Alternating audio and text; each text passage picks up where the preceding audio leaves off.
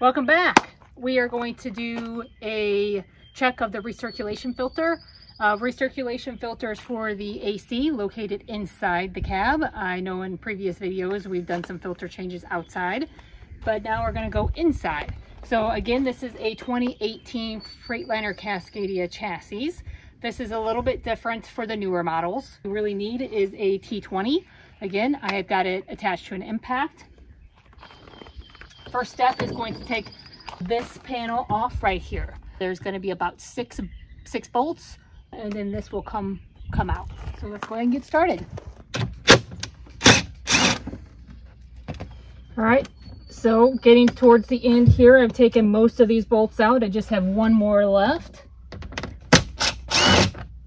Now, if you've got a newer Freightliner Cascadia, this is actually a little bit simpler. Um, let me go ahead and take this out here. Just get this light taken out here.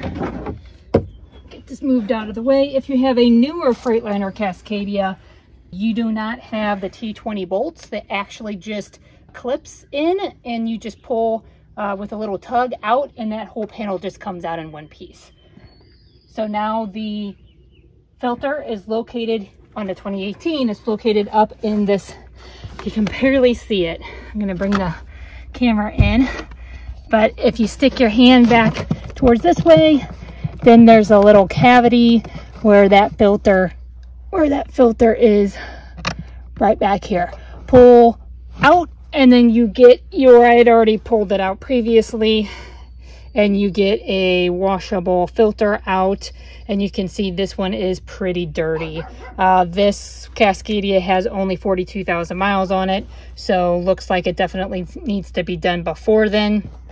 Now, if you have a 2019 and newer uh, Cascadia, the filter is a lot easier to get to. It's in a little spot right up here. It's white, and then you just pull up on it. Um, again, washable, take it inside, wash it out, and just push it back in.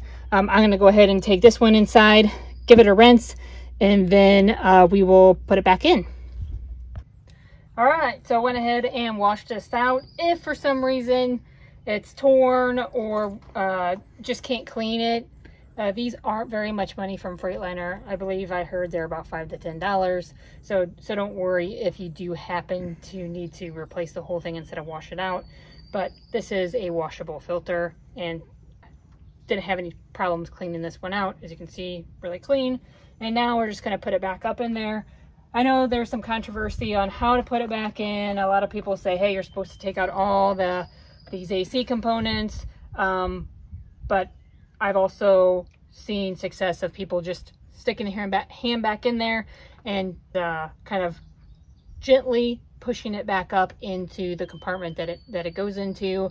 Again, if you have a 2019 or newer, way simpler. There's a pocket you can get to and it just easily slides in and out. So um, let's go ahead and get to it. All right, so I got the filter in. You can, it's gonna be very hard to see here because the camera wants to autofocus on things I don't want it to. There, so right there, that's the filter and you can feel it back here more. I'm not going to lie. It is a real big pain in the butt. Didn't take too long, maybe five to 10 minutes of me slowly pushing it up. Be, and I would highly suggest if you can find somebody with small hands or fingers, that would probably be the best person to do this job. You know, it is a tight fit for even my, my hand, but like I said, I just kind of slowly kind of pushed it up, made sure that it wasn't wrinkling up or, or bunching up on me because it obviously it's a filter. You want it to go all the way up in there and, and do its job of filtering. But if you're patient with it, it will eventually go in there and it does feel like it's setting flat and it's not bunched up. So um, I call that a win. And now all you got to do is reverse the steps of taking everything off.